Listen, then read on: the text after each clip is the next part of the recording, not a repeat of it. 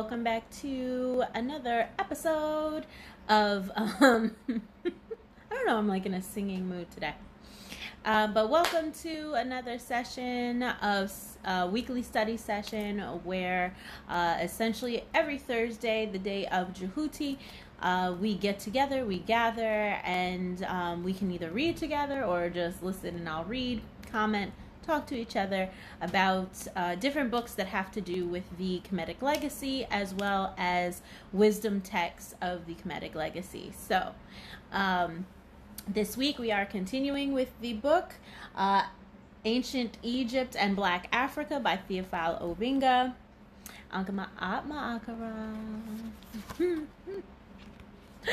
so um, we are picking up on page 33 and um, so essentially we were going through uh, we're in the first chapter we went through the introduction uh, so we are in the first chapter, and um, what the author was doing was um, essentially just giving a whole bunch of primary source texts. So um, the reader, I guess, just has a better background and stuff like that. Uh, I really like this list uh, from the few of the books that I did start Googling afterwards, and then I got a little, not gonna lie, got a little overwhelmed, and I was just like, oh my gosh, I these are so many things I'm gonna have to buy or download, and so you know, I was just like, you know what, when the time is right, when I'm, you know, ready for new books, at least I know I could come back to this one and I have a plethora of choices of things to add. So, as a side note, if you live on the East Coast, and um, you are experiencing this extreme uh, shu and tefnut today. Um, I hope that everybody gets home safely because uh, Minya is not gonna lie. She heard that the weather was gonna be a little shum shum, and I left my windows open. Big mistake. So uh, I came home and a whole lot of water was all over my home. So um, I hope that everybody is uh, dry, safe. Um, you know, I did hear it was going to be more flash flood warnings, so I just I just hope that everyone is um, just asking Empu to open the way to for safe passage to come home or go home to uh, everyone's family. So. Uh, all right, so let's start. Um, so last week we talked about the Old Kingdom, the first intermediate period, and now we're in the Middle Kingdom. So I'm just gonna kind of finish us up. Uh, so the teaching of Amenhot to his sons, I'm sorry, to his son, uh, Sesostris, which I'm like, mm, that sounds mighty Greek, but okay. Uh, here's a pessimistic vision of the world where the good people are caused unpleasantness. Whoever trusts his friends is betrayed by them. That's interesting that that's Middle Kingdom and not a not something that would be an intermediate period. So go figure. Uh, Satire of Trades, the work of Keti, son of Duauef, the importance of this composition lies in the detailed and satirical description of various manual trades blacksmith, carpenter, um, barber, potter, shoemaker, which enables us to get an idea of social and artisanal life at the time. The only profession which appears to be noble and appealing to the profession of a scribe. Uh, it is a eulogy of intellectual life in ancient Kemet, which I oh that's kind of interesting. I think that's only interesting because. Um, you know, this year I am teaching AP uh, U.S. history again, and we just went over like what is satire, and it's just very interesting because so many people laugh at satire but don't quite understand, uh, you know, what it's really about. Um, they just kind of g- get to the surface and stay there, and that's all. So I think it's very interesting, and I do remember. Um, ooh, there they are. That's what I. I was about to talk about it. In the Miriam Lichtheim book, the really cool thing about her her books um, of the literature of ancient Kemet is that she kind of talks about the different. Um, like she sets you up and talks you through the history of how uh, certain features within literature existed at what time periods and how you could tell the difference. Uh, so, like thi- this time period they really wrote more in prose. This time period they really just did record keeping. This time period, so it's really cool. Um, you know, to go back to uh, any of these three books there, and I guess um, you know maybe she, I'm not sure because um, it's been a while. but just referring back to them and just saying like i wonder if satire was a feature of middle kingdom writing which i imagine would be the yellow book the middle one if i'm not mistaken. I think i have them in order. I'm judging myself right now my organization uh, tales of Westcar papyrus the fourth tale is very instructive uh, king Cheops asked the magician uh, the first thing I wanted to say is Jedi. That's not it. Dejeti, uh, is it true, Dejeti, that you can put back a chopped head?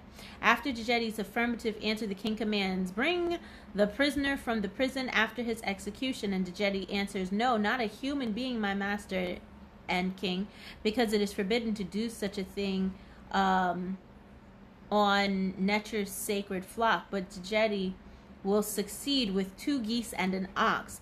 Capital punishment does not seem to have existed in ancient Kemet. That is for the country's subjects. So, um, I think I remember reading that. I think we read that in the Budge book. In the um the book, it was the purple cover, and it was like talking about amulets and things like that. I think we remember reading that because they were talking, I believe, about Hekau and the power of Hekau, and in the rest of that story, it goes on to say like, uh, so he wanted to see it, and um, uh, Dejeti was just like, you know, he put he said Hekau, and then the animals came back to life and stuff like that. I think that's a very interesting thought. Um, just in general about the relationship between uh, human beings and animals and like sacrifice and the idea that um, you know we can be literal or we can be figurative in talking about um, the relationship and and you know kind of bringing something back to life. But again is it literal or are we being figurative? Are we trying to talk about uh, spiritually bringing it back or honoring the energy that was within that living being? Um, and i think it's interesting that he differ- uh, differentiated between um, executing a human or um, like a ritual killing, I suppose you you could put it, of a human versus of an animal. So I think that's very interesting, just overall, because I mean we do know that they did have uh, human sacrifice at some time, early, early, early time in uh, ancient Kemetic history, but um, you know that just they ended up not doing it, and um, from what I've seen, they said like uh, when the Nasut died pretty much the royal court uh, around them got killed too, as like you know these are all the people who are going to be needed uh, when the Nasut goes on into the field of reeds. So, um, and then over time they were just like, um, yeah, no, we're not going to do that. And then that you know that's when um, if you've been to like the museums and stuff, they they have um, I forget the the the uh, official name, but they have like the wooden carvings of people making bread and uh, people weaving cloth and and stuff like that. So those are like placeholders um, for actual humans to do the, that work. And um, this was before they made um, Merkut or pyramids that they um, that um, they say like the the rituals that they did as far as burying people uh, before they really started building Merkuts, and then after that, um, putting the Nasut in like the um, the valley of the Nasut, I imagine. Um, that uh, it, it was like a very flat thing, and they said you could see the way the people were like lined up. It's kind of like they were just executed eventually, um, one near the other, and you know, like that's how you could tell like human sacrifice was most likely a thing back then. Uh, but again, I think it's interesting, like knowing that, and now looking at this story of Dejeti, and you know, saying like, no, um, how did it say? It's forbidden to do such a thing to net your sacred flock. Now, I would also want to go back and see, like, well, what's the original wording? Was the wording actually a flock? As in, like, you know, because as a as a modern person, I hear flock, and that has like very Abrahamic connections. Uh, like that's a trigger word. So I'm just wondering if, um, as Obenga was writing this, like, did he take liberty in certain words? Which I'm not sure. If I think he would do that, but um, you know, I wonder if that word choice was on purpose or if that's really what it was back then. I think that would be interesting to uh, look at. Uh, so the next from the middle middle kingdom, we got the coffin text. That's the end of 11th and 12th dynasty.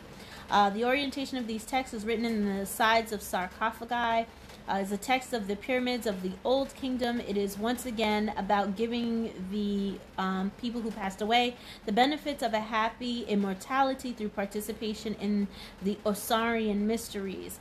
These texts are therefore a formula for reestablishing life uh, through the union of the deceased with a divinity. It was declared that each part of the um, mummified corpse was that of a netcher.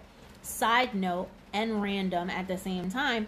Um, I remember I was watching a documentary and the the Egyptologist who was in there was saying that um, that one of the reasons for the death mask, if you will, for them making it in gold is the idea that the Neteru were uh, made of gold. They were light beings. Therefore, you wore this mask uh, so that the Neteru would recognize you as one of their own. So I think it's interesting that it says um, that declared that when you passed away, and again, this is you know at that time period, this was for the Nisut, these were for the aristocracy, and so on and so forth, so that they would be understood and their their bodies or their corpses be declared part of nature in general. So I think I just think like visually that's very interesting, but then also the idea of using natural minerals to kind of associate and reinforce uh, one's own divinity is like you know I mean we do it all the time. We wear jewelry, we, you know we adorn ourselves and so on and so forth. But I mean to think of it on that level, um, I think that's pretty cool. Uh, New Kingdom, 1590 to 1085 BCE. That is when uh, the Pert Imheru, because I'm not going to read it like that. The Pert Imheru, these are texts on papyri illustrated in vignettes placed near um, the people who passed away in their coffers. Uh, the Kemetu referred to it as the Book of Coming Forth by Day.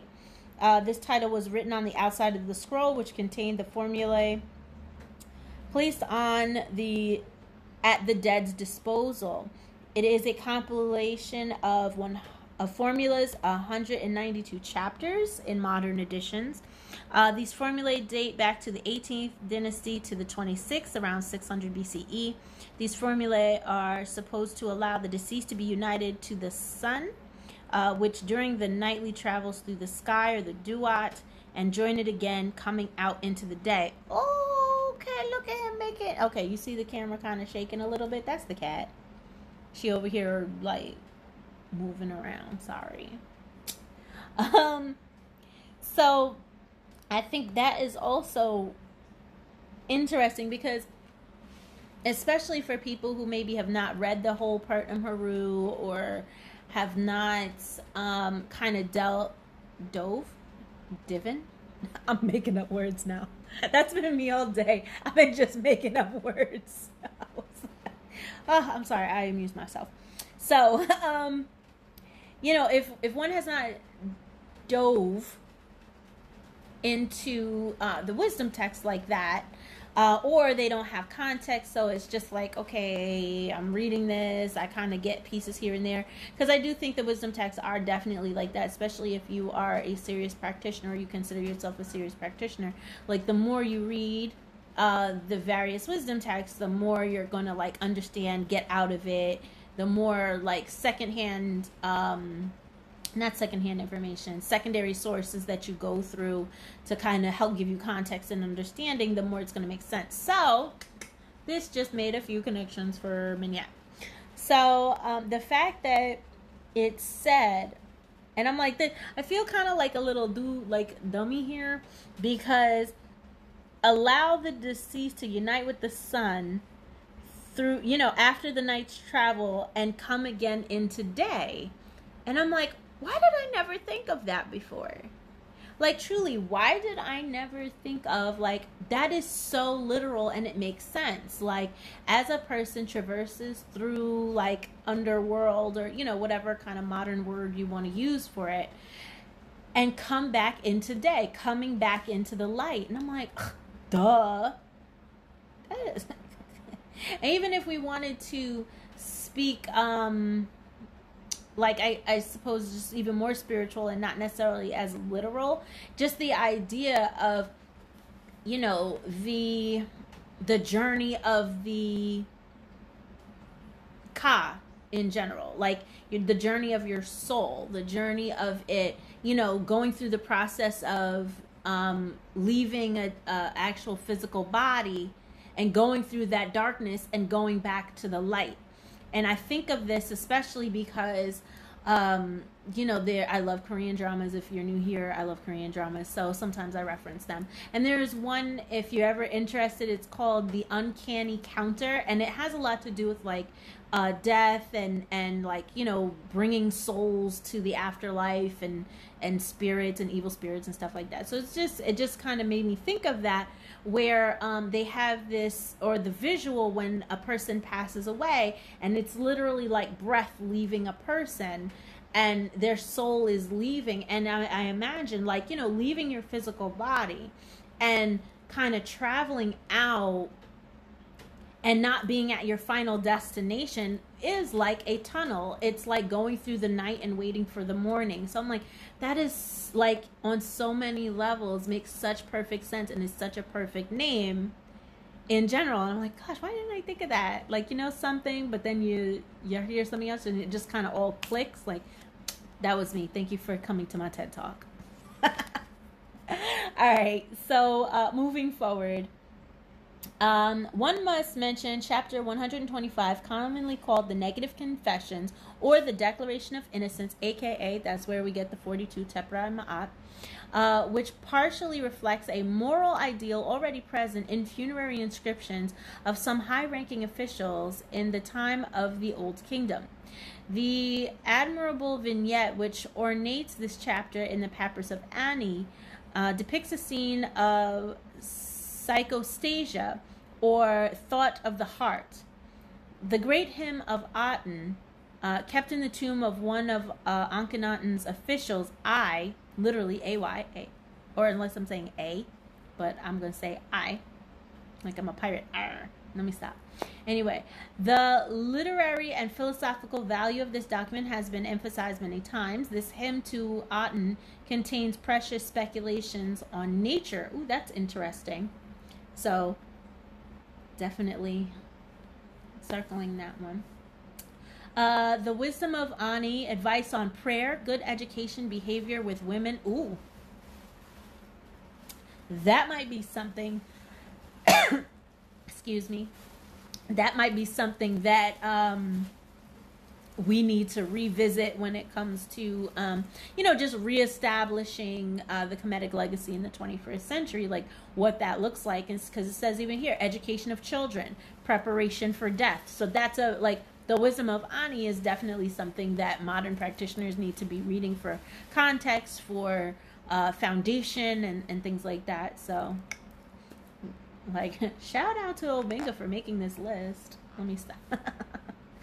Uh, the teachings of Amenemop, 30 chapters or notices, with the same preoccupation as Ani, uh, with perhaps a stronger emphasis on respectful behavior of the person and a more refined religious meaning. Okay, so teaching of Amenemop, which I'm pretty sure is yes. These are my the. I don't know why I have more than one Husia, but I'm I am pretty sure both of those or at least part of those are in the Husia.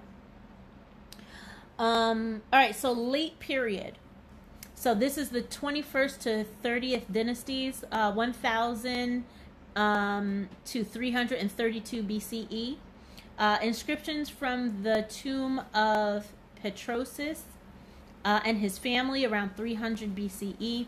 In these, one finds higher expression of sapiential, sapiential, and sacerdotal spirituality. Eulogy of the holy life of man who follows the will of nature. Ooh, okay. Underlining that one. I like that one only because so many people um, like to try to um, divorce spirituality and religiosity from ancient Kemet. Um, a lot of times people will still stick to the spirituality, but they like to be like, oh, they wasn't religious. These were just like ideas. Those weren't, you know, Neteru. Those weren't gods or sacred beings. Like, no, they were just expressions of energy, you know. And I'm like, yeah, that's true, but it's kind of like undercutting, you know, it. So um, I think that's a very interesting you know, like that might come in handy when it comes to, you know, again, fleshing this thing out and what it looks like and so on and so forth. Uh, this um, overview is obviously very brief. The literary production of ancient Kemet stretches almost 3,000 years, but it's necessary to refer to uh, Kemetic texts themselves to read them directly and to exploit them to its fullest. Now, I think that's interesting that he chose the word exploit them but I'm pretty sure I, I can understand or make the connection as to what he's trying to say, but I'm going to finish the sentence first. Uh, anthologies are available to those who have no direct access to the um, Seshmeru Neter or the written Egyptian language.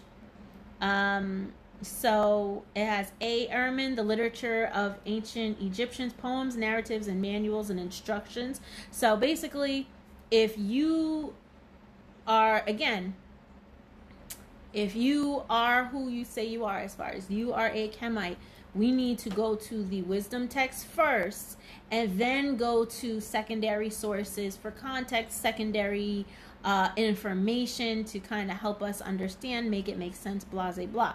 So, um, this idea of, um, you know, and a lot of times people will do that secondary, like, and, and I don't want to be funny, but technically, like someone would read this and be like, "I'm Kemetic. and it's like, while okay, you can be. Um, Obenga is literally telling us like you have to be versed in the actual wisdom texts like you you have to to the point where you're exploiting or you're taking out that information and that is your primary thrust of um, philosophy, of intellectualism, of sociology, of psychology, of religiosity, all of that. Like everything should come from, you know, the words of the ancestors, uh, essentially. But if you can't get that, he's giving us other um, books if you don't have access to the originals or the primary sources. Uh, so that's this first book. He goes on to say W.K. Simpson, The Literature of Ancient Egypt, an anthology of stories, instructions, and poetry. Uh, Miriam Lichtheim. So again, these three books right here. Uh, volume 1, 2, and 3. Um, Ancient Egyptian Literature 1, 2, and 3. Um, CL, I don't know what the first name is. Lalouette uh, texte sec et texte profane de l'ancien Egypte. Eight years of French, and that's what I got for you. and then G. Lefebvre, L E F E B V R E. Uh, Romans et Canton Égyptien de l'époque L'époque. L'époque. Uh, oh yeah, l'époque pharaonique. Yes. Okay. So eight years came in handy. it wasn't in vain. so um, two French books. So um, I'm pretty sure one came out in 87 the other one in 1949 so i'm pretty sure by now there should be um, either translated versions or um, you know i think for me personally and this is like beginner slash lazy scholarship in my opinion but you know if i can't find something in another language or like i don't want to sit and try to translate it or or there is no english um you can always find um a journal article talking about the actual um text the original text and you know they'll quote it so you'll be able to at least read part of it. Um you know if you can't get it in in you know your language. So i think that's my two cents if you will.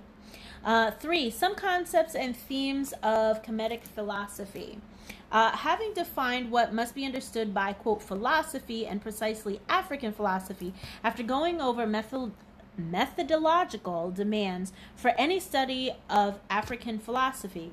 After stressing the importance of Pharaonic philosophy, in the chronological global context of history of African and of world philosophy, and after briefly stating the documentation, studies, syntheses, anthologies related to African philosophy of Pharaonic period, it is now time to try to highlight a few concepts and themes of this uh, African philosophy of the Pharaonic period.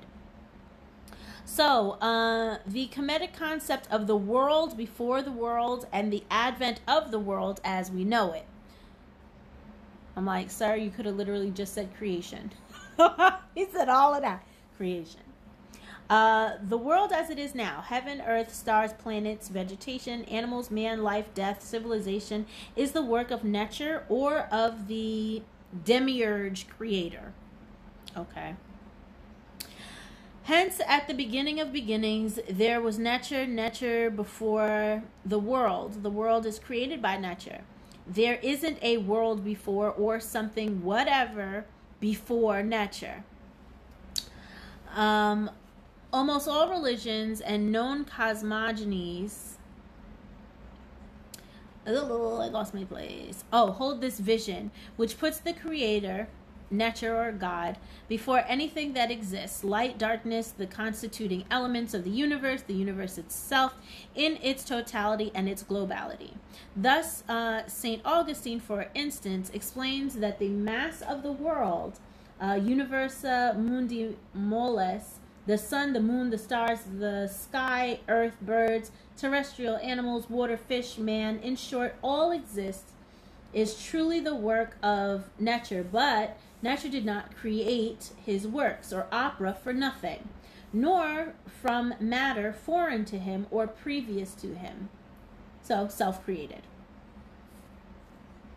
Uh, non de aliqua non tua vel que ante furit. There goes Latin. You can tell I never took Latin. uh, but from uh, concreted matter, that is to say, from matter created by nature simultaneously with the works created from that very matter created by nature, aka God made everything the end. Oh, on nature. Um, can I give pointers on how to get started? Um,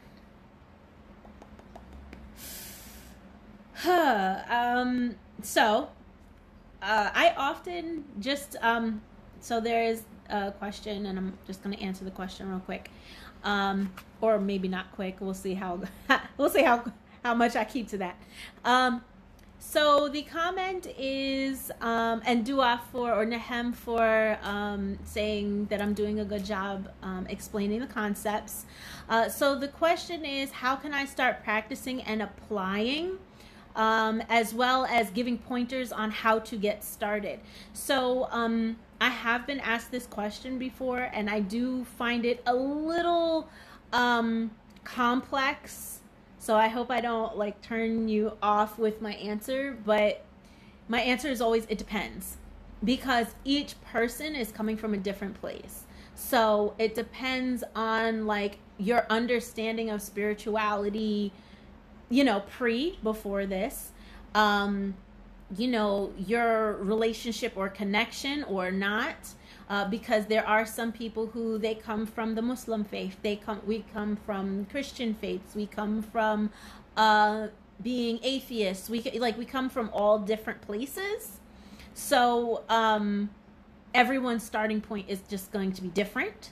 Uh, so that's the first thing I usually say.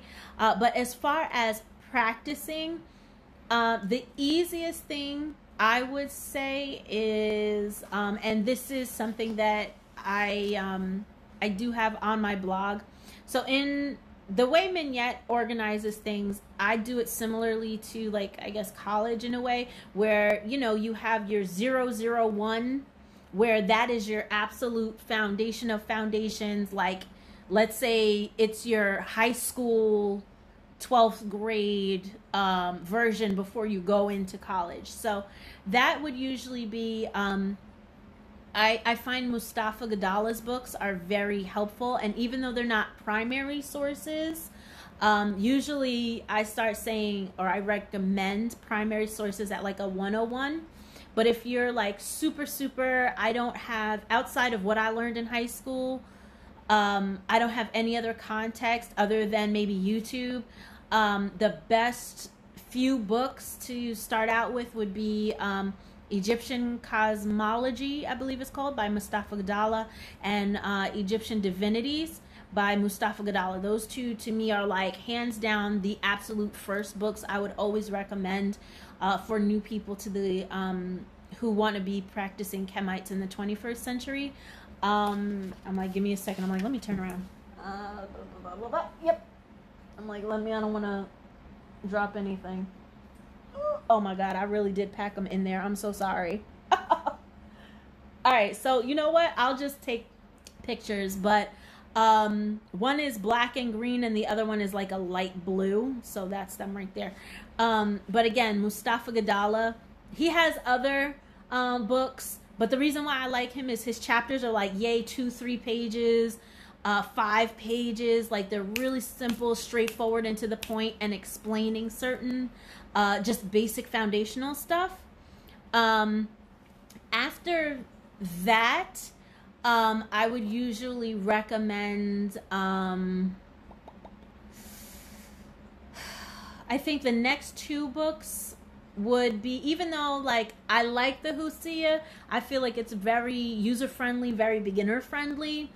Um, I am a little biased in my recommending it only because um, it is from uh like after oh gosh what what are, what are those guys names? When the greeks took over. I i don't know why i can't like the names escaping me right now but um so i i kind of am like uh, i i would like something a little older than that but i like the way um Maulana Karenga put that together. Um, as far as just kind of combi- compiling things um, because again it starts to really just talk about like morals values how we as Kemites kind of see the world view the world how we should treat people. Um, i would definitely say look at uh, the 42 tepra ma'at um, i know i have personally like i enjoy listening to it every day twice a day um, I literally listen to it on my way to work, and then I listen to my prayers, and then you know when I come home and everything like that. Um, so I commit that to memory, or I try my best to commit it to memory. When you get out of practice, you forget stuff. But um, I have the 42 hanging like right above uh, in my bathroom. So like if you're washing your face, brushing your teeth, or whatever, it's there. I have it right before I walk out my my um, my home. So it really is just something that um you know, any any faith, any uh way of life, you know, you always want to start with a foundation. So um and knowing why you're doing what you're doing. Um, I know a lot of times people will kind of start things and then put it down, start it and put it down. And, um, you know, just practicing the Kemetic faith, it's definitely a shift. It's not honestly a lot of the people on um, social media it's not really the way that they explain it it's not really the way youtube presents it where it's just a bunch of people arguing with each other like that's not really the way it is that's not how we're supposed to behave but you know it gets people views and checks, so they do what they do. Uh, but if you're really serious, the I would definitely say start out with the two Moustafa Gadalla books. Maybe get the Husia if you and again just understand that it's like a beginner's book and then eventually you'll branch out and and get into more wisdom texts. I like to say um Egyptian proverbs. That's also like a very beginner book that I found to be helpful. Um and then I, after that um gosh it, it it's like it's so different for everyone uh, but I would definitely say that would be a very strong starting point to just understand, like, well, what is this Kemetic thing really about? What, you know, what kind of lifestyle am I looking to get into? You know, what are the expectations? What is the code? All of that good stuff. So I think those would be a really, really strong, like, beginner, beginner, no matter what kind of faith or background you came from. I think those would be really good ones.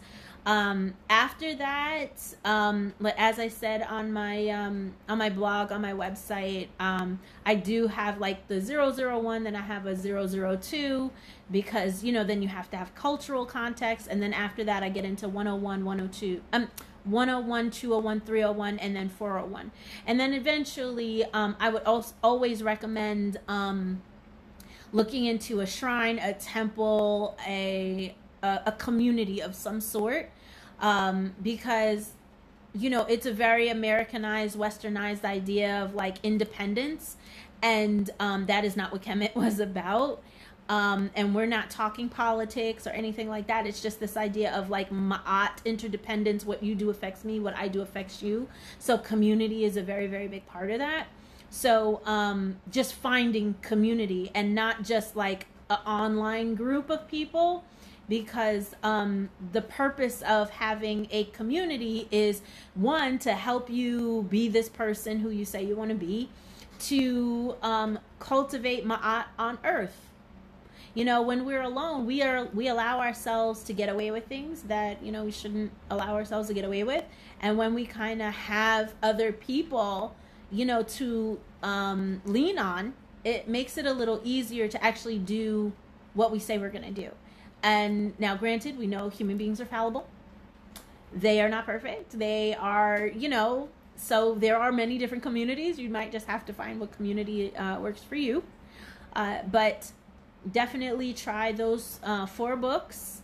Um, and then from there, you know, I would after that rec- start recommending um, get into some wisdom texts, but also, you know, it's kind of like you got to do a couple things at a at the same time. It takes a process. Like the Menyet that you see here is I don't even remember. I need to be better at remembering this. I think this is like 13, 14 years in the making.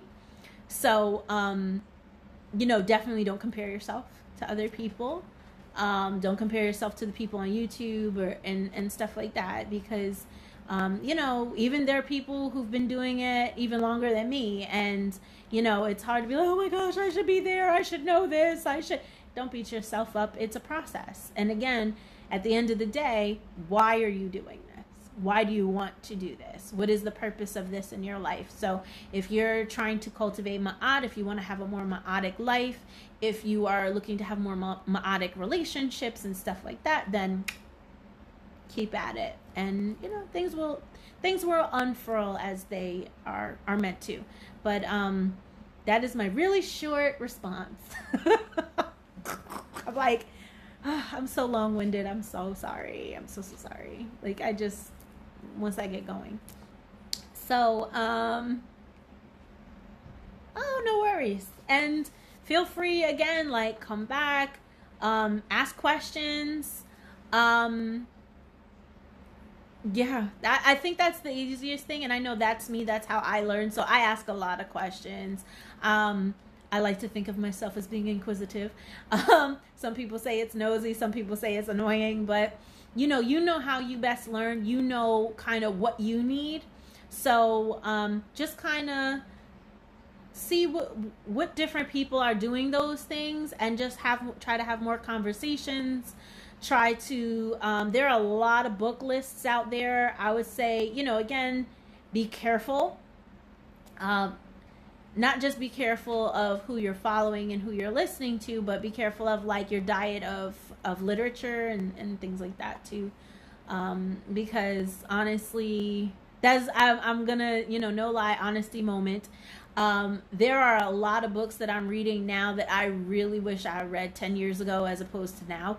I feel like I personally would just be further in my understanding, which is one of the reasons why I like doing this, uh, because it just gives me, you know, a, a purposeful time to study. I think that's the other thing.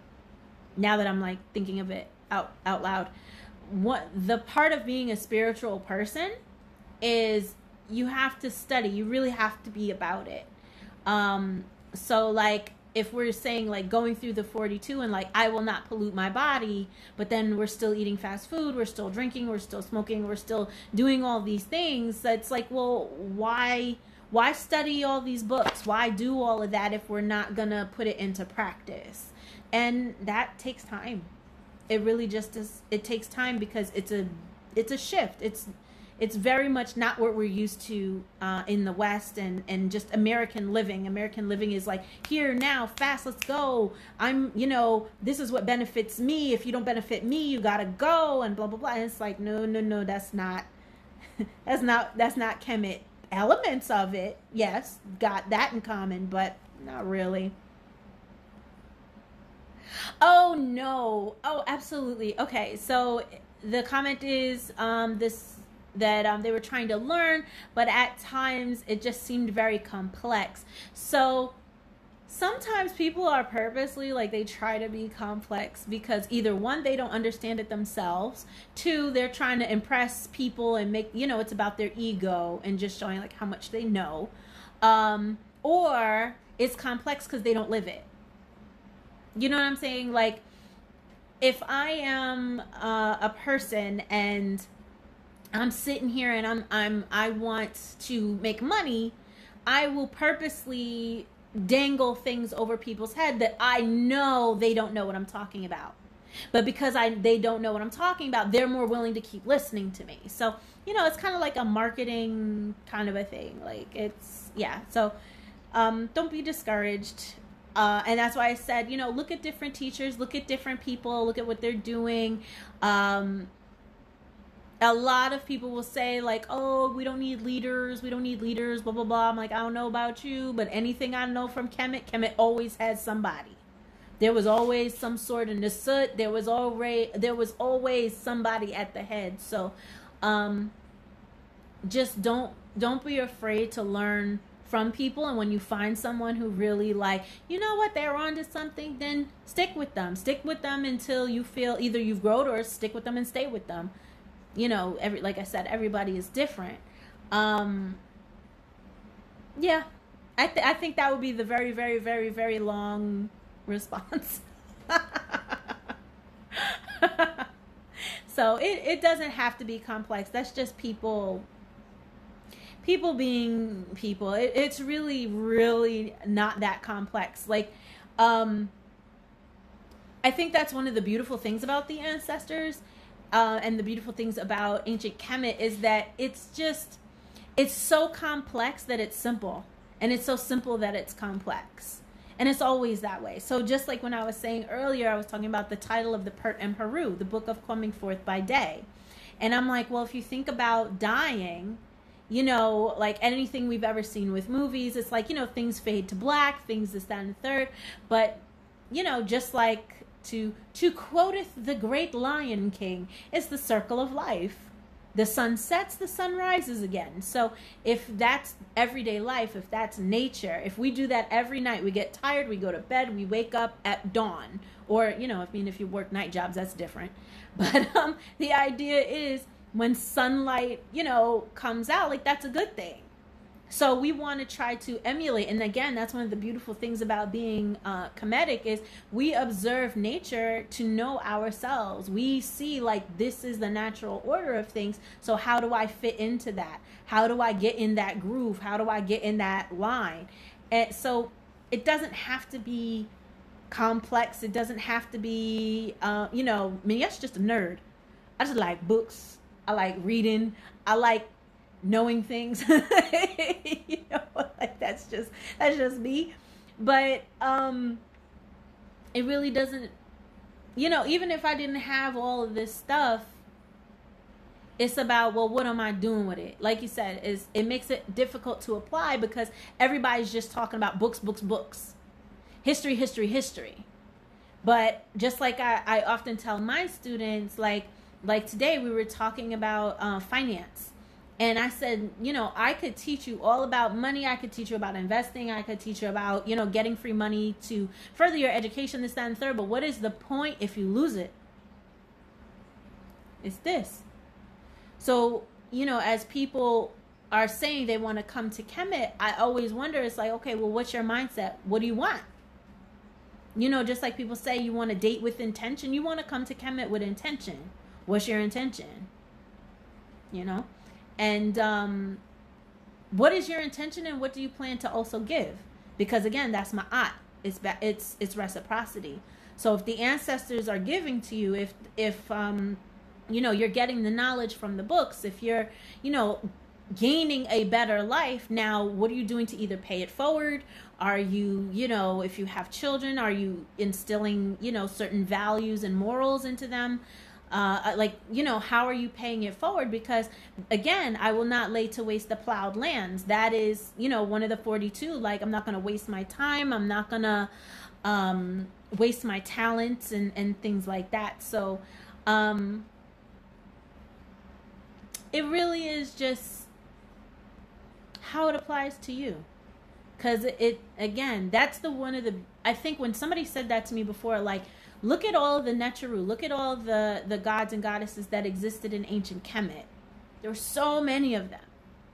So many kinds of personalities, so many different kinds of stories. And that was just a way for all of us to be able to connect, to understand our own divinity within. So I go back to, you know, it depends on where you are. It really depends on where one is when they're coming to Kemet, what they're trying to understand, grow, cultivate, and then therefore give.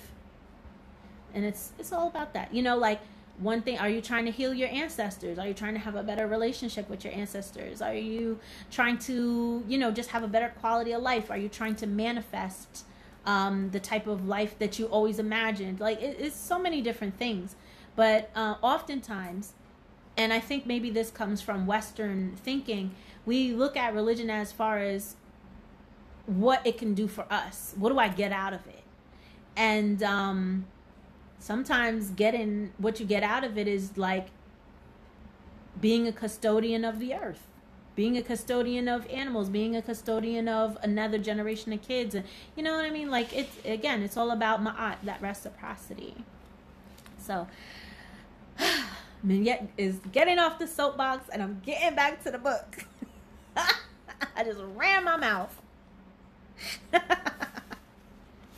oh Lord.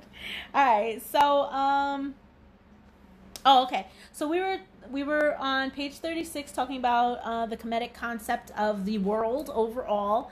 And essentially, uh, what Obenga was saying is that um, within the Kemetic paradigm, just like or very similar to other paradigms, is that Necha created everything, everything came from Necha, and then the things that came from Necha, Necha used that to create other things. Everything came from that one source. There was nothing before, there's no outside or anything like that. It's all kind of self contained. So, um, you know, oftentimes people be like, well, that don't make no sense. And it, it's, it's kind of like the ultimate chicken or the egg.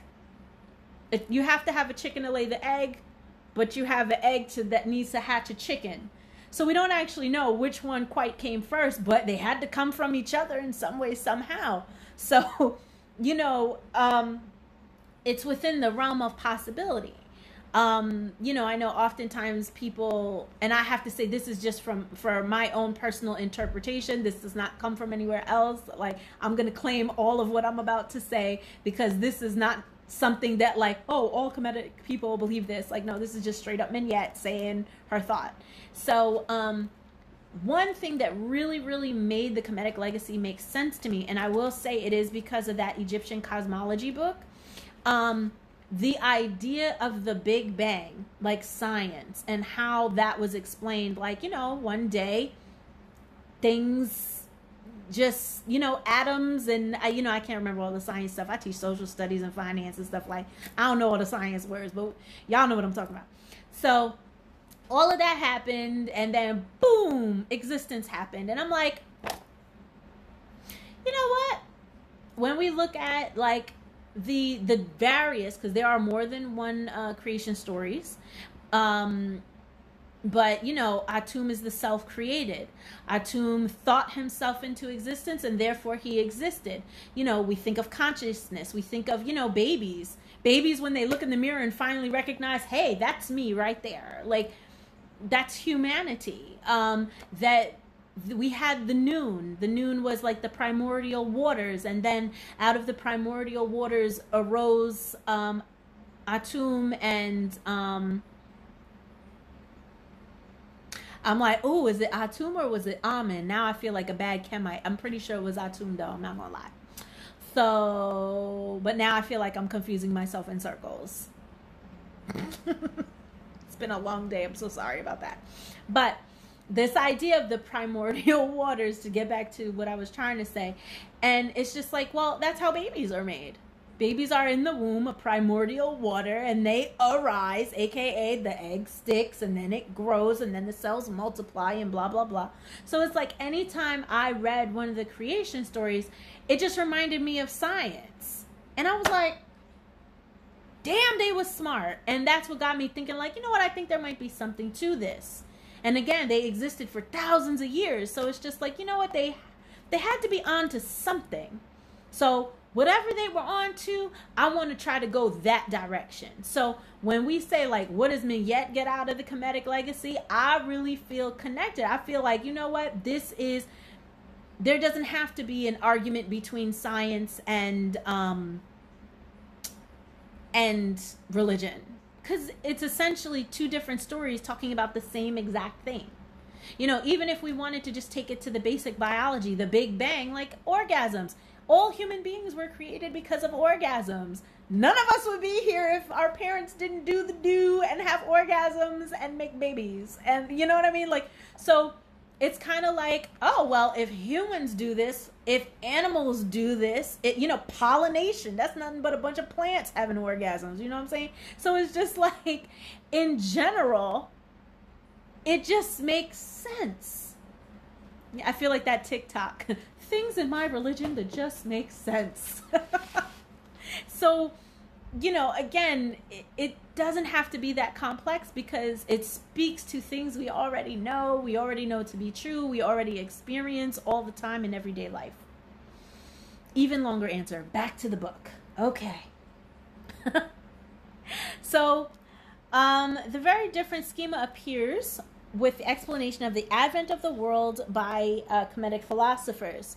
For ancient Kemet, before the world such as it is, before the sky, the earth, men, before death, before the Neteru themselves, before what was had to come into existence, in Sep Kepret Sementi, there was something called the noon. See, look, mmm, Menyet's on point, and she didn't even know she was gonna be on point. Yay! I'm like, this. That's my ego. Calm it down. I love that when you like be on a good thought, and then you read further, and you like, oh, makes you feel smart. It's very validating. Very, very validating. So this primordial noon can be related to abysmal water, but like uh, the fluid of ether, not real water. So technically, I mean, if you think about the womb, it's not real water, but it is, you know, nutrient dense, blah, blah, blah. Uh, this fluid, uh, liquid ether, the generators of the Neteru themselves and of the rest of creation.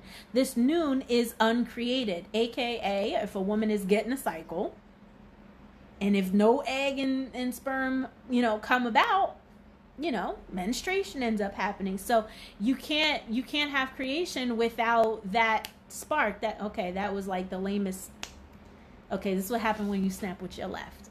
Yeah it's still not working but pretend it was really loud and like impactful. So uh, so um The noon is in its initial non created, the cosmic beforehand, the universe before the actual universe. So again, humanity, our lives, you know, uh, as they say, or one of the things that people always say is like, isn't it interesting, at least, you know, for females, isn't it interesting that you existed at this, uh, within your grandmother? Meaning, your egg was in your mom, which was in your grandmother. So it's just like, wow, your existence before your existence. So this would be again the noon, like we were there. Um, this uncreated fluid, uh, eternal liquid, very opaque, dense, compact. Mm, again, I defer back to the science. Um, will be involved through the demiurge in the process of becoming, the demiurge himself issuing from the primordial uncreated. Uh, we are now commenting on the pyramid text 1040, 1230, and 1466 BCE. Um, is born in the noon. When I was born in the noon, MC EM new. Uh, I am Atum. Oh, go me. I was right. I am Atum. When I alone exist, being alone in the noon. Oh, oh, you hear that alarm? It's trying to kick us off. I'm gonna finish this page though. Um.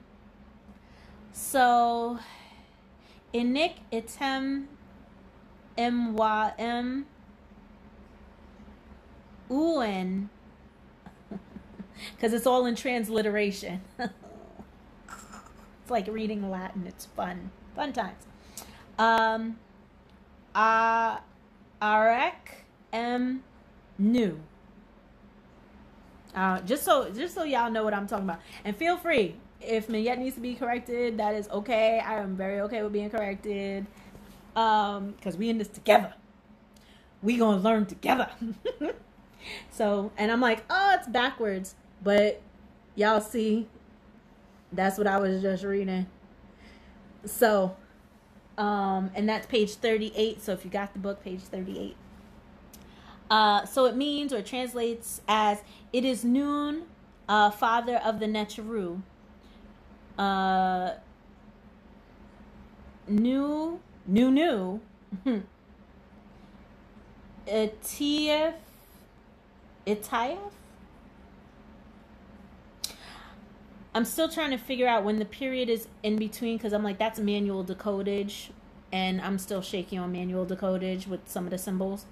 So I forget how you're supposed to read when the period's there, but itif Neteru.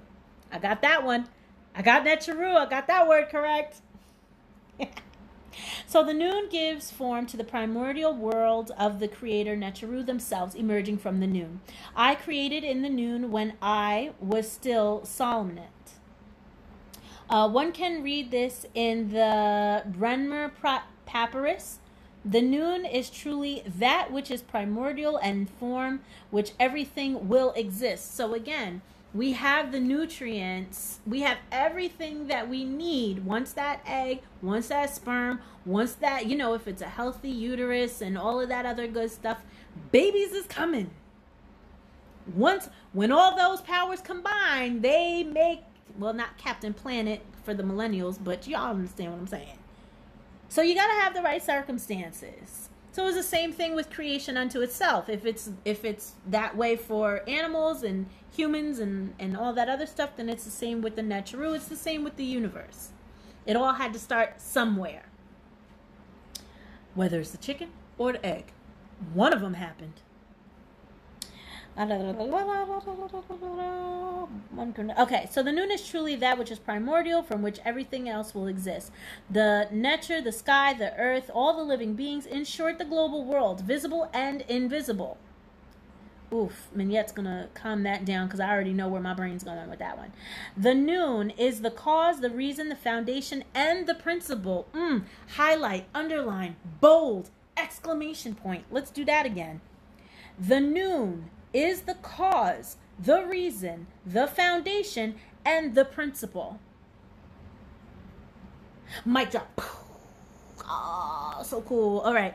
So, um, yo, I I'm, I really feel like that's like a tattoo in the making. I'm sorry, I'm like a sucker for tattoos, but I really, I really am digging that. So the idea is without the noon, none of this would be here. So therefore, it is the cause. It is the reason. Because again, if the cause doesn't happen, there's nothing to refer back to. Therefore, there's no reason for any of this to have existed.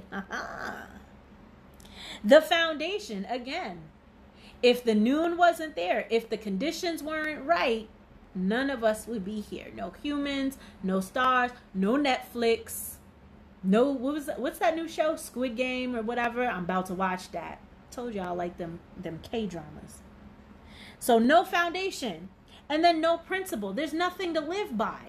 If we don't have our starting point whether we like that starting point or not whether we agree with that starting point or not who cares how we feel about the starting point? The point is it's there. That is the beginning of existence and that needs to be honored that needs to be understood. It doesn't need to be something that's like all convoluted and woo, spooky, spooky. It's just this idea of honor the beginning. Because without the beginning, none of this would exist. The end. That's it. No lie, I still think that's going to be a tattoo. I still like that. So from the Nun, there is being, development, and knowledge. Again, you need your starting point. You can't learn anything if you don't know your ABCs. You don't know your ABCs if you never learn to talk. If you never learn to talk, then, you know, if you don't have ears to listen and hear, if you don't have eyes to watch, if you don't have a mouth to speak, if you don't have hands to do sign language, whatever. That was like really bad sign language. I, I'm sorry, my bad. so again, it's like you always got to go back to the origin and honor that origin. Because again, none of this would exist. The Nun is the foundation and the home of all subsequent being. The Nun is anterior to all that which is subsequent to it. It is the before, it is the after, uh, will emerge of the uncreated before. Again, I defer back to originally when everybody when um the comment was made, oh my god, it's so complex. Like all of that complex stuff, honor the beginning because if the beginning wasn't there, we wouldn't be here and all of that is ma'at. That's it. I mean, if we even want to use our former religiosity, the idea of the alpha and the omega, like that was literally right there. It is the before, it is the after, it is existence. Like, okay, if we wanted to say it in a different way, and forgive me, science people, if I'm wrong, feel free to correct me, but I would think of it like air Air existed before I was born and breathing it. Air is going to exist after I'm dead and gone. Air is air. There's no me judging it. There's no me hating it. There's just let me let me give honor to air because without air I wouldn't be breathing. That's it. And just understanding it for what it is. That's all. So the demiurge reigns alone, unique in the prior, uh, primordial uncreated. The demiurge creates from the uncreated, from which he also comes. So again, this idea like, okay, we as human beings, we existed when you know our parents got together and did the do so now we exist and then we go out and do the do and we create little humans from ourselves and we create or create the conditions for them to have their lives and so on and so forth. So, you know, it just kind of again, it's talking about that that line.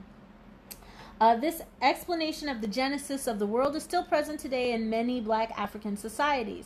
Here's a philosophical text from the Kuba of Kasai or Zaire, quite comparable to the Kemetic text. At the beginning, there was nothing but darkness, and there was nothing but water on earth. In the chaos, Bumba, the Chembe, reigned alone. First, he vomited the sun, then the moon, then the stars. Excuse me, and this is how light was born. And then he has a chart um, comparing the two stories. So, again, depending on which story you're listening to in ancient Kemet, you got the Ben Ben, which was the earth that rose out of the water.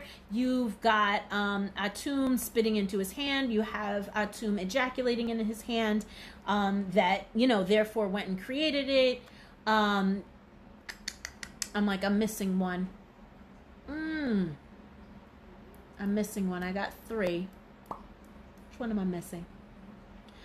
I feel like it's one that has to do with the egg, but I don't know why. I'm feeling like that's very Hindu ish. I'll get back to you on that one. But if you know the story that I'm missing, feel free to leave it down there. Um, you know, help me out. Let me stop. All right, so let me finish this page and then we'll be finished for today. So, with the concept of the Nun, the Kemetic philosophers laid down the principle at the source of the very uh, constitution of the universe as it is now known by human ingenuity. Thus was laid down quite clearly the radical unity of all beings and elements of the universe, emanating and created from a unique principle, a kind of fluid ether.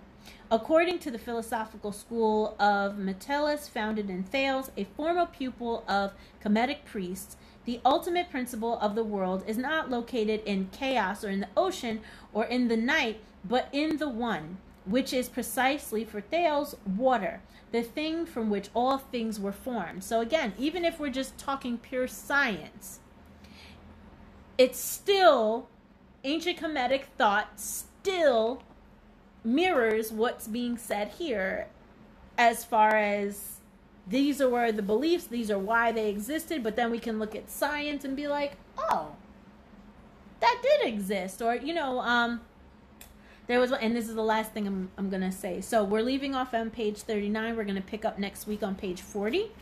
Uh, but uh, there's this really neat uh, TikTok, and then it got me, it, I went down a rabbit hole with this one.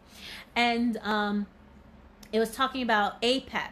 And it showed that there's this place in northern Kemet where there are like these huge, huge, huge bones.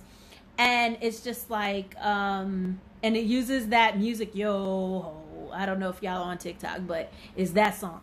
And um, it's showing, or what the person who made it was just like, oh, that's the origin of APEP. Now, do I think that's true? Probably not, but I don't necessarily think it's totally out there. Meaning, we all know that um, up south Kemet, you know, because of um, the ice age, you know, it became first it was a lot of water, and then it became a desert. So where this thing is and i need to find the the name of it and i'll post it in my instagram feed where they were talking about that whales and sea like huge sea turtles and all these sea animals got trapped in the land and died and then all of their bones are there.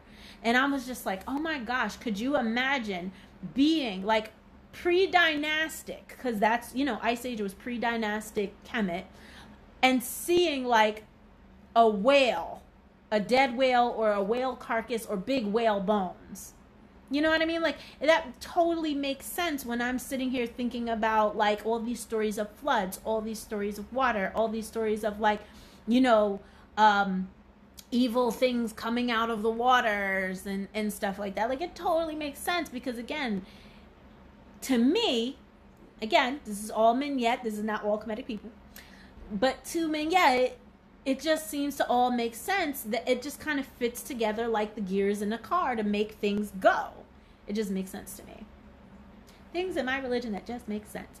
So, um, so again, as I said, we are reading the book Ancient Egypt and Black Africa by Theophile Obenga. And uh, we are leaving off on page, or we're going to start on page 40 next week. Um, if you have time, feel free to um, like this, share this. You know, I got to give my spiel.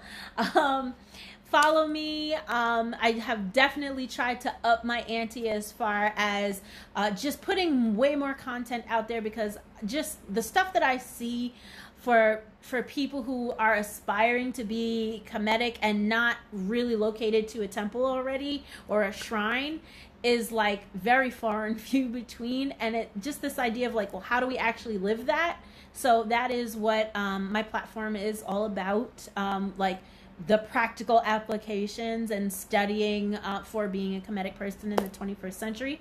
So we have the Facebook group, um, Kemetic Living in the 21st Century. It is a private group, but feel free to join us over there where we have uh, conversations, share information, stuff like that. Uh, feel free to follow and go over on my blog.